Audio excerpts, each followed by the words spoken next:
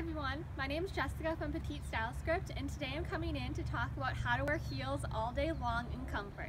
So I posted a blog a post on this and it was really detailed with a lot of advice on how to wear heels all day long and I just wanted to briefly come in to show you in a video format some things that I use on a daily basis that you may have seen on my Instagram stories.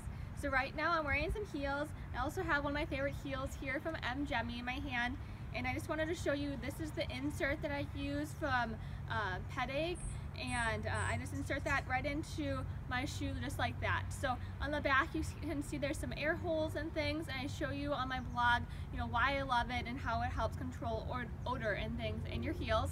And then in this hand I'm holding my Band-Aid Friction Block Stick.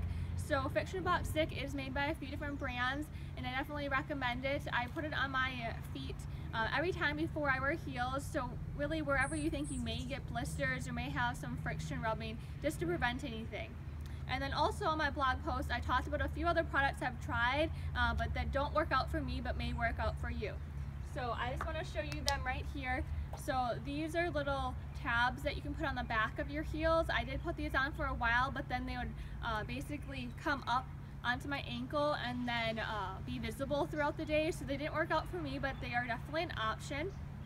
And then you have uh, some other little things you can put um, on under the arches of your feet as well that will stick down into your shoes and then um, other basically heel liners that you can use that can also help with comfort throughout the day.